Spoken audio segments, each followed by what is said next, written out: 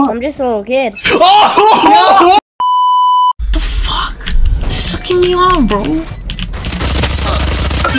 Fuck. What the hell? You literally were lighting her up.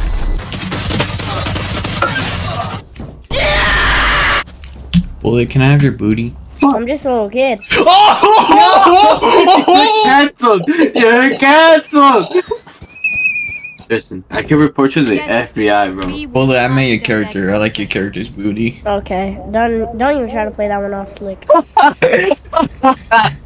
Phoenix, can you not uh, flash everybody? No, that's what I said. Like, you want to play another one? Uh, my mom told me to uh, get off after this game. I kind of got yelled at. Oh. You're so stupid, bro. Okay, instead of just f- flashing us, like I know you're trying to flash us on purpose, Phoenix. Like, if you're trying to show for a video, bro, this is not the way to go. You have to act like a noob, noob. Truth is, my friend, he plays a lot of Valorant. He came over to my house one time and he did all my settings for me. If if you're lying, that's alright. I don't care. But That's Cam, bro. He got no friends, bro.